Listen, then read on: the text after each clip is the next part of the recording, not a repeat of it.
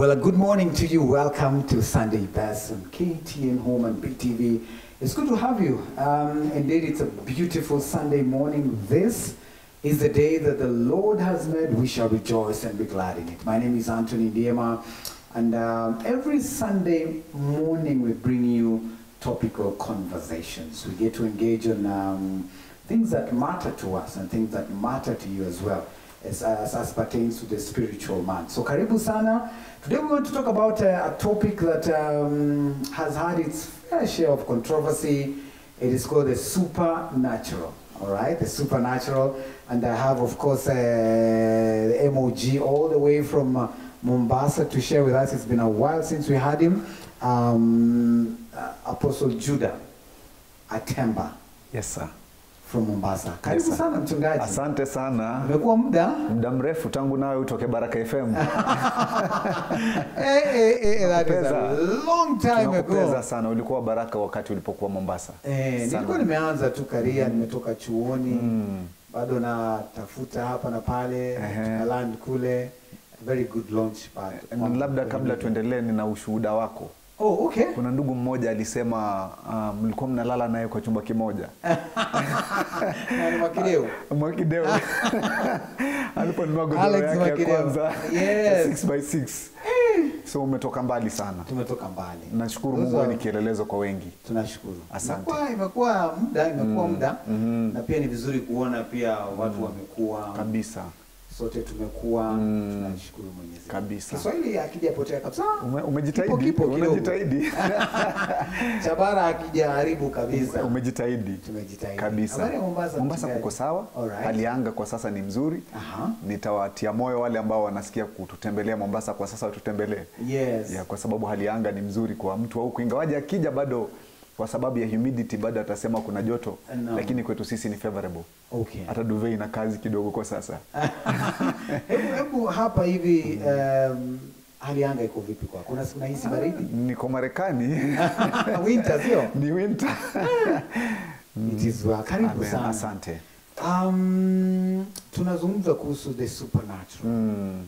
and um, at every time mm. you turn your TV on Yes, please. or when you're watching something on social media Mhm. and you hear of healing, the Mm. supernatural, Mhm. you know, the antennas go up. Yeah. People think, hey, hapa kuna sarakasi inaendelea. Mhm. So I, think let's begin by just understanding what is the supernatural. Okay. Mm. The And supernatural. you can tell us a bit more about it. Yes, I will explain. Yes. The supernatural is a realm that is beyond the natural. And now it's uh, God Himself is supernatural because when we speak about the supernatural, we're speaking about God. God is the author of the supernatural. It is a realm that is beyond the natural. And uh, you know, speaking about the natural is uh, you know the realm that we live in, and there's an uh, there's a realm that uh, uh, you know whatever happens happens beyond the natural. And maybe to explain further, we need to understand that for the supernatural to take effect, there is a process. All right. There is what is entailed. Uh, that is, and speaking about the process, it means that there is a price tag that is uh, uh, tagged to it. Yes, sir. All right. So there's a price tag to it. Mm-hmm. Wow. But I like your definition. Mm. God is Supernatural. supernatural. Yes. What do you, what do you mean by it? God is beyond the natural. God is All beyond right. the ordinary. God is All right. not ordinary. Mm. And that's why a, a singer sang a song and said, Mungu si mwanadamu. Right. Mungu si mwanadamu aseme uongo. It's also a scriptural. Mungu si mwanadamu aseme uongo. Yeah. Je, amesema atatenda. No. Mm. So, so ideally, the natural mm -hmm. is what we engage with on Yes. a daily basis. Like right now, we're engaging naturally. All right. We're in a natural sphere. That's why I can be able to see you. Okay. But God is in the supernatural. He is a spirit. John chapter 4, verse 24, I believe. He says, God is a spirit. And those that worship him must worship him in spirit and in truth. Right. God is a spirit, and that's why we are not seeing him. That's why we, we term him or we call him supernatural. And now, being a spirit being, there, there are powers that are behind him. And I believe that's what we also need to uh, elaborate on. Right. Because that's a, it's, be, it's been misconstrued. When it gets to the, the, the supernatural, uh, there, there are those that feel that they're not going to go through the process. Joseph had to take close to uh, 17 or 13 years to get into the palace. Right. David had to be in the bush to be prepared by God before he came out and became a king. He had to be on the run. He had to run, you know, because his life was in danger until now, the appointed time when now God saw to it that he had to see to it that he's matured enough. Right. Because uh, I, I, can, I can elaborate to explain with the scripture. Uh, Galatians chapter 4. Galatians chapter 4, to just sum it up from verse 1 to 7, Right. it says, An heir, according as is a child, mm. does not differ from a slave, Right. but is still under guardians and tutors until the time that is appointed by God.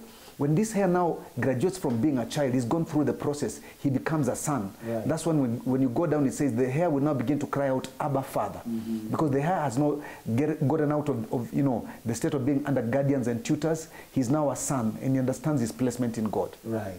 Yes. So let- let's try and understand a bit of what happens in the supernatural as, Okay. as we just keep, Mhm. you know, expanding on Yes. that particular definition. Yes. So what happens in the supernatural? In the supernatural, because of the atmosphere, because the supernatural carries an atmosphere. All right. So when, when the supernatural is in a place, and the greatest trigger of the supernatural is holiness. Uh-huh. Because remember, the Bible says, minus holiness, no man will see God. Right. You know, we have got uh, the supernatural in quotes that I know many people are seeing it and it's, it's manifested over and over again, but it's the supernatural, I call it in quotes. And it happens as a result of shortcuts and people that are not willing to pay the price. So the supernatural entails their, their healings, All right. their deliverances, their supernatural visitations. Ah. When you walk in the, in the supernatural because of the spirit, uh, the spirit ability or the spiritual ability of God, then their actions, their acts that back up the supernatural, like healings. Right. You find God settling somebody maritally, or you know, God just changing somebody's situation because of the supernatural. So it goes beyond, and, and I mean, many people, when they hear supernatural, they'll Yes. see deliverance and healing. No, it but goes it goes beyond that. beyond that. There's also knowledge. All right. There's wisdom. Because if you read the book of, uh, it should be Isaiah chapter 11, uh, verse 3. It speaks about the spirit of wisdom. It speaks about the spirit of knowledge, the spirit of counsel, the spirit of might. It's, it's, still, it's still part of the supernatural. All so it's right. go, it goes beyond healing and deliverance. Aha. The manifestation of deliverance is just as a result of the presence of God that is evident, uh, backed up by the supernatural. Okay. Mm. So, so what needs to be done Mhm. For the supernatural to happen? That's a good question. Yeah. There's a price tag, as I, as, as I said at the beginning. Yes, and I, I like it. You keep mentioning about the price. Yeah, it's good to Very emphasize important. on that because we're Uh-huh. living in days whereby we've got so many people that are just shooting up, and some of them you try to do a background check and you can't really find out where they're coming from. Mm. And why do you find, uh, you know, why do you find such people? Is because they don't, they are not ready to pay the price. Now, the, the um, what what bats the supernatural is the price. And what do I mean when I speak about the price? Is there's a, there's a, there's a call uh, for fasting, Uh-huh. there's a call for prayer, and there's a call for the word of God. For instance, you want to move in the prophetic, you might not necessarily need to spend a lot of time in prayer. Prayer will back it up. But what stirs up the prophetic is the word of God. All right. After you prayed, you need to balance it with the word of God. God's servant Bishop David Oyedepo said, if I fast and I don't read the word of God or pray, then it, it's equated to hunger strike. Mm. So what births the supernatural is a lifestyle of prayer and fasting. Right. And that also calls for consecration and separation. Yes, sir. So, so, so let's paint a picture. Mhm. Let's paint a picture of uh, someone who desires Mm. the supernatural to happen in their lives. Okay. Let's say uh, you have been under a condition Mm. that has um, put you down, Mhm. and you could be a marital issue, Mm. it could be healing that you desire. Yes. What do you need to do? Okay. And I'll go far beyond that, that. Yes. And I'll also try to bring on board people that are, you know, having maladies or sicknesses that are incurable. Right. Because someone that has got ulcers Yeah. has been told, and according to the ulcetic condition, they might not be able to fast. Mm. So there's also there's a need for desperation. All there's a need for a hunger and a thirst for a change. Because you can also go into like that. fasting. You can go on the mountains and fast and pray for as many days as you want. But if there is no desire, and that is backed up with a hunger and a desperation for a change, So, the, so that's the beginning point. that's the beginning point. there has to be a desire. There should be a desire. I'm mm-hmm. tired of this condition in my marriage. Right. We're fighting with my wife or my husband every day. I'm tired. I mm-hmm. need a change. Then I begin to involve God. Then fasting will come on. You know, it will just come on board automatically. All right. But you know, like when I, as as a as, uh, as, as compared to, uh, or rather, as uh, when, when, I bring on board people that have got maladies that are incurable, like uh, ulcers and all that, their own will just need the supernatural to be involved after their desperation, their hunger and thirst. The Bible says, Blessed are they that hunger and thirst for righteousness, for they shall be filled. Aha. All right. So so that's a good beginning point. You have to desire. Yes. You have to hunger for it. Mm. So how do you now engage the next step? Okay. As you get towards. Now that is now, that calls for faith. All right. Because Romans 10 17 says, faith comes by hearing, and hearing by the word of God. Mhm. And I, al- I, I always uh, uh, interpret faith as the living word, or rather, living force, drawn from the living word to produce living proofs. So you read the word of God, or, or you can hear the word of God as we're sharing this morning. Right. You hear the word of God, then faith is generated. Mm. As that faith is generated, you find one that was weak and feeble begins to take steps. All right. You know, like a little child, whether they will try and crawl and fall down, you just take steps because you're tired.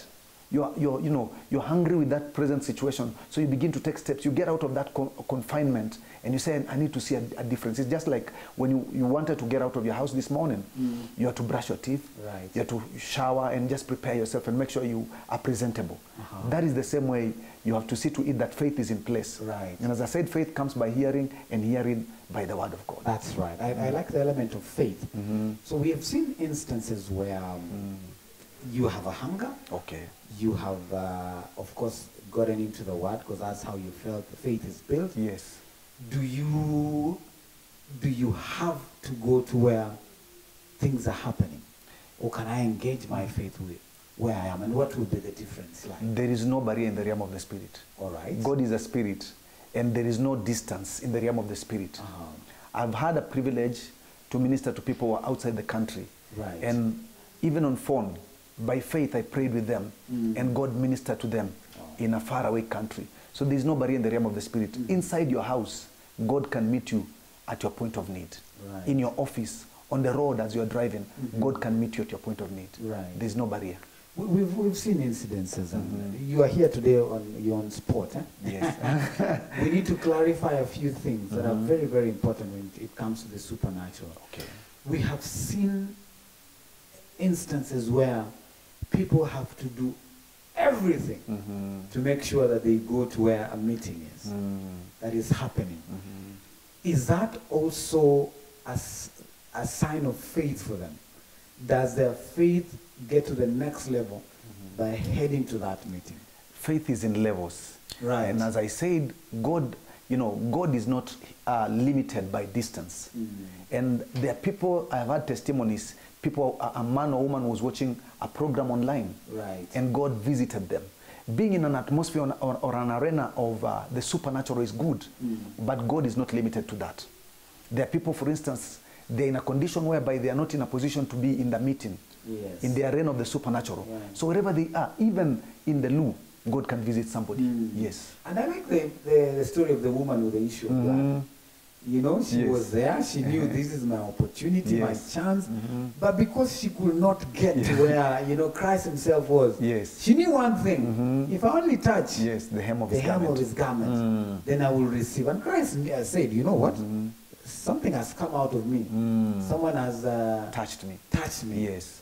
and uh, she had to come out and, and Mhm. receive. So, so uh, again, it's just to encourage those who are those who are watching Yes. and to tell them that um, it can happen anywhere. Yeah, it can happen anywhere. Uh, very important, Mm. rather most important, is that Mhm. your faith Yes. needs to be charged up. It's true. How do you get to a point where Mm. you have such intense faith, Mhm. faith that is not shakable, Okay. faith that is uh, firm, Mhm. For the supernatural to happen? It takes a walk with God. All it should be a daily walk because every one of us is discouraged at one point or the other.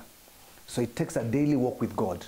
And after you've been consciously walking with God and doing what is uh, demanded of you, for instance, the, the study of the Word of God, Mhm. because that's the greatest catalyst of faith, the study of the Word of God and prayer. Because as I said, these two go in hand in hand. Right. Because uh, the Bible says in the book of James that faith without works is dead. Mhm. So you have to see to it that you are exposed to the study of the Word of God. Then you will grow in levels. And then you'll find yourself getting to a place whereby, you know, the supernatural becomes part and parcel of your life because you have grown and you have matured in the things of God. But- And of course, we have seen instances, um, this is the controversial one, where um, people have gone to places, but they have ended up running to false prophets. Do we have false prophets today? Yeah, we do.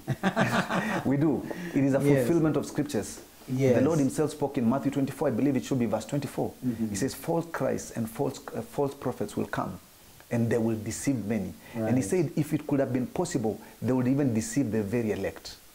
So it is scriptural. First John chapter 4, if you read from verse 1 going down, down to verse 4, uh, the, the Bible uh, speaking says, uh, be, be, beware or, you know, watch out because false Christs and false prophets will rise in the last days. And the, it says, by this you'll be able to know the spirit of those that are coming in the name of the Lord. Right. They'll confess that Christ has come in the flesh. He said, the spirit of the Antichrist does not confess that Christ has come in the flesh.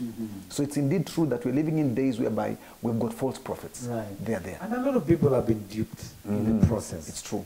The Bible says you will know them Mm, by by their fruits. fruits. Mhm. I mean, you have you have been a minister. Yes, please. Um, is that distinction the best in terms of knowing this is a genuine prophet, this is a genuine um, you know man of God, Mm. this is not a genuine one? How do you Mm-hmm. draw the line? Now, drawing the line dis, uh, demands for discernment. Yeah. Among the gifts of the Spirit. That's a big word. Yes. Among the gifts Break of the. Spirit is discernment. Yes. Discernment is the ability to tell. Okay. My, my heart, you know, God communicates in so many ways. God can impress on your heart. When you meet somebody, you just feel like you're repelling the person. Mm. You're repelling the person. Uh, we usually say kuna kitu tu Mm, kuna kitu inakusukuma tu unasikia tu ndiama.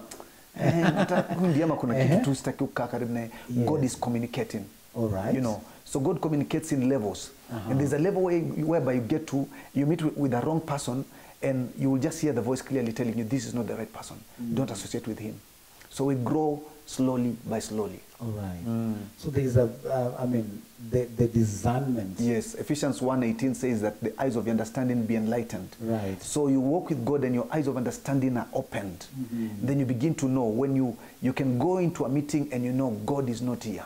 Right.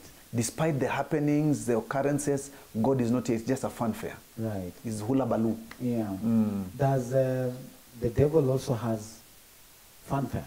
He has. If you read How the is book that of, manifested? if you read the book of Revelation, it should be Revelation 16, 13, if I'm not wrong. He says he, he has given to the beast and to the false prophet and to the serpent of old powers to perform miracles. Mm. And then he says he saw an, an, an, a three unclean spirits. Three unclean spirits coming out of the mouth of the beast, the false prophet, and the, the, that serpent of old. And then he says that they have been given power to call down fire. Right. Yeah, Wow. they have power to call down fire. That's why we need to draw a line by trusting God to open our eyes of understanding so that you are not just carried away by any manifestation that you see. Wow. Because there are also manifestations that are demonic. Right. And many have been deceived as a result of their. Because one of the weapons that the devil uses is blindfold. Ah, He blind, if he wants to deceive somebody, he blindfolds them. right. And he makes sure that you you now become very resistant to the truth. That even if a genuine person comes and tells you the, the road or the path you've taken is wrong, you'll be like, in fact, you begin to hate that person. Right. Mm. Wow. What, are- what are some of the signs Mhm. when you see, you clearly say, right here, Mhm. there is a problem Okay. in terms of uh, in your interaction with them, Yeah. you know, the ministers or the man of God or the Mhm. prophet. Yeah, the litmus paper is the word of God. Right. The litmus paper, the balance. What brings in the, the balance is the word of God. Right. And that's why I always advocate that every believer should read the word of God. Ah. Because when you read the word of God, that's when now uh, Matthew 7 21 and 22, it says, Many will come to me saying, I, I healed the sick, Mm. I delivered many men and women, you know, Right. I prophesied in your name, but he will tell them, Depart from me, because I do not know you. Mm. And he says, You workers of iniquity. Right. So, what uh, makes you to be able to tell uh, that this is not of God is you have to have the word of God, and uh, what will make you to now identify is the errors, Mm. because there is balance in the word of God. Right. And when you read the word of God, you'll be able to understand that if, for instance, I begin to merchandise a gift that I've been given, then you know that this is an error. Because the, the word of God says we have been given freely, and freely we should give. Right. So if I begin to merchandise and I begin to say, if I'm going to pray for you to get healed, then you need to bring me a hundred thousand. Yes. Then you know there's an error. Wow. Jesus never never charged anybody to be healed nor delivered. Mm.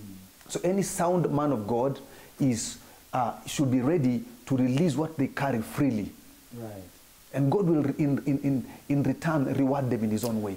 But you know, also that's where manipulation comes in, Mm. because uh, you you will be told Mm. it is a way of honor. Mhm. So you need to honor Mm. the gifting. Mhm.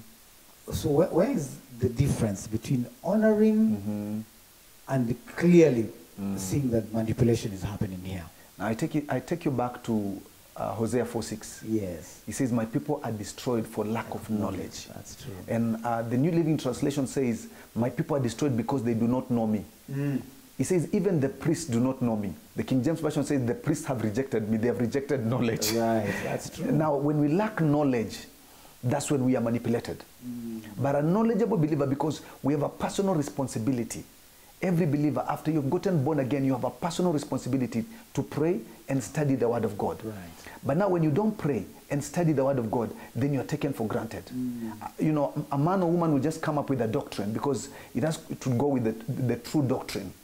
They just come up with a doctrine and you listen to that doctrine. And that's why Paul admonishing the, the, the church, he said, do not be carried away or do, be- do not be tossed to and fro by any manner of wind of doctrine. That's true. So it has to be based on a sound doctrine. Yes, sir. That's important. I, I, I remember a sermon by now Bishop Calisto Odede Mhm. some time back when he was talking about occults, cults and occults Mm. and, and, and false prophets. Mhm. He said, when you get to a point where the man of God or the minister has been raised to a level Mm. that uh, he's almost comparable That's to idolatry. yes to Jesus. Mm, it's idolatry. That's a sign. Mm. Sign number one Yeah. that th- there is something is happening and there is not. Is that true? Yeah, be- yeah, because Jesus, you know, idolatry and witchcrafty uh, is in different levels. Right. And I can say this uh, that uh, we also have places of worship that witchcraft is practiced. Ah. Because now, for instance, when I begin to pray against you, Mm. when I begin Jawi. to curse you, Yes. I have gotten into a dimension of spiritual witchcraft. Right. A believer is praying against an, an- another believer because our warfare is not carnal, it is That's spiritual. true. So if I, if I, as a believer, begin to fast and pray that Ndiema should die, Right. I have gotten into a dimension of spiritual witchcraft. That's very And, interesting. and the error should be corrected by us priests. When we see those excesses, Yeah. we should be able to say, no, this should not go on. And it's not my role to, to, to, to revenge, right? It's not your role to revenge, it's God's role. Hata kama basi mtu ameni kanyaga kabisa ama bosi wangu amenileta we should handle the diabolic.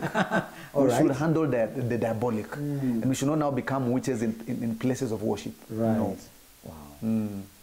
Uh, uh, that's very profound. So, so, so ideally, we need to be very, very careful. There's a very thin line. Right. You can get into witchcraft without your knowledge. Mm. You can al- allow me to say this. You can you can you can still be speaking in tongues, yet you went into witchcraft. Mm. Because the moment you begin to curse people, especially God's people, you're in you're in for a problem. Is it possible for a man of God who has fallen Mm. from uh, Grace. grace Mhm. to still then do the supernatural? It is possible. supernatural. It is, it is scriptural. The scripture says the gifts of God are without repentance. Right. So what God does because he endowed his grace in him, or God invested in him or her, what God does now after he's not seen repentance for some time, he Mm. decides, let me take away this minister. Wow. So that's the That's end. why you see um, a minister that was well doing, Mm. God can just decide, let me take him away, because God will say, let me save his soul. And, and most of the time it begins, I mean, we've seen people who have, have begun well. Mhm. What happens? What happens? Along the way, we forget. the way, If you yeah. read the book of Deuteronomy, the Lord speaking to his, his people, he told them, after you have eaten and you are full, do not forget you're coming from. You realize that uh, human beings tend to forget very easily. Mm. I believe there are people that you have helped. Right. in this path of destiny. And you realize there are those that came back. You see those uh, nine, uh, ten lepers. One of them came back and said, "Thank you." But there are those that will shall- still will go out there and say, "Ndiema, that Ndiema guy Yeah, is bad." they go and tarnish your name. Yet you fed them, you paid school fees for them, you Right. Mm. housed them. You know. So there are those that will still respect you till the end of the age, Mm-hmm. and there are those that will still feel like, you know, something is amiss. All right. So we take a short break. We'll be coming back with the, the man of God right here, talking about many things supernatural, uh, trying to understand, you know, how do I get in there? How, how does it happen? Is it a reality? How do I need to engage? What needs to be the condition of my heart for the supernatural to happen? And for you who's just getting in and you're wondering, does it even happen? Is it even possible? Si tunajua tu sarakasi. so we have the answers for you and we'll get to engage. We'll also be getting to know um, a servant of God who will be coming over uh, very soon in, in the city. So don't go too far. We are the Cascadia Gardens apartments. Cascadia apartments the Two Rivers Mall. Beautiful, simple. You love it. Go check it out. We come back in a short while right here. Don't go too far.